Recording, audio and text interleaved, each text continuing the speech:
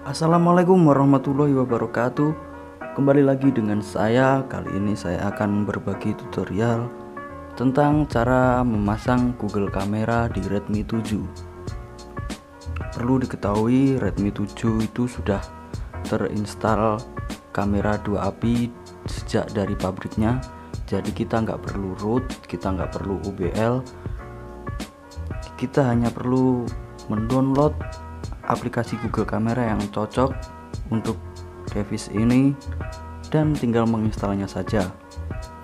Saya udah beberapa kali mendownload Google Kamera tapi jarang menemukan yang cocok. Akhirnya saya dapat satu yang cocok untuk HP Redmi 7 ini. Oke ini adalah salah satu hasil Google Kamera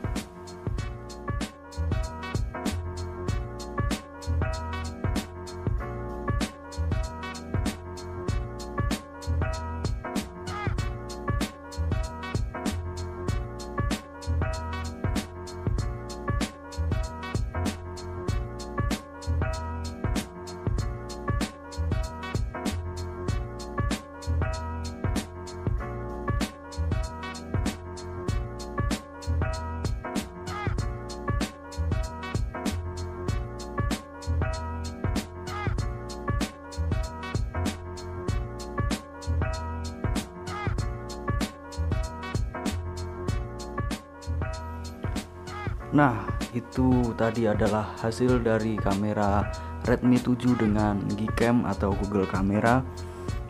Langsung saja ke tutorialnya. Yang pertama, kalian masuk ke browser, kalian unduh link, kalian unduh Google Kamera aplikasinya pakai link yang ada di deskripsi. Saya taruh beberapa link, mungkin nanti kalian bisa menginstalnya kalian silahkan pilih yang cocok atau tidak. Setelah kita download langsung saja kita install. Oke di kita cari aplikasinya. Nah, ini kita install seperti biasa.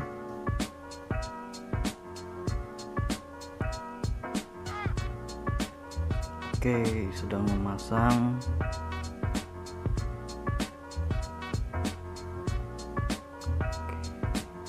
tunggu sebentar. Sambil memasang aplikasi ini kita kembali. Dan kita lihat di manual kamera.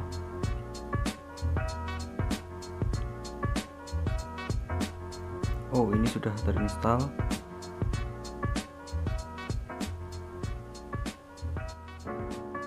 Kita ke playstore kita download aplikasi manual kamera compatibility.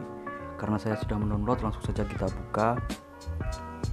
Nah ini tampilan awalnya aplikasi manual kamera. Langsung saja kita start testing. Nah ini semua sudah tercentang manual fokus manual with balance manual ISO manual shutter speed raw support. Berarti kamera dua api kita sudah aktif langsung saja kita ke Google kameranya yang kita install tadi. Ini dia.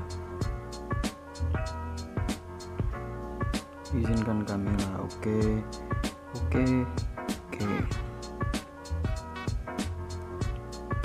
Ini hasilnya. Mantap sekali. Ada fitur potret. Kita coba. Kayak ini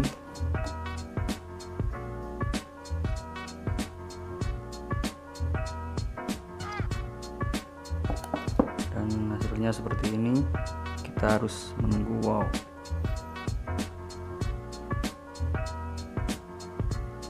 Hasilnya sangat mantul teman-teman. Kita coba ke kamera depan. Kita pilih potret 1 2 3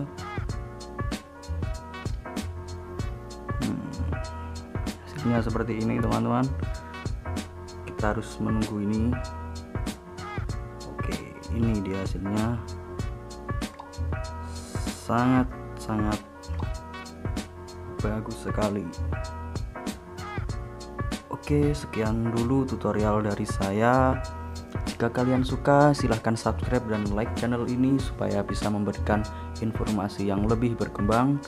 Dan jika kalian tidak suka silahkan dislike channel ini. Oke selamat malam teman-teman